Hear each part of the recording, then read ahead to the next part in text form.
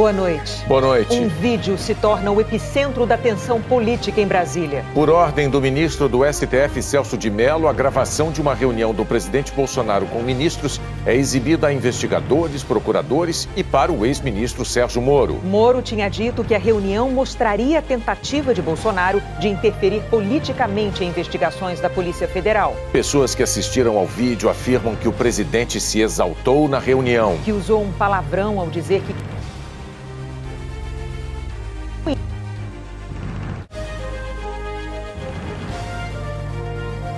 E o diretor-geral geral da PR. o conteúdo do vídeo. Você viu aí, nós tivemos um problema com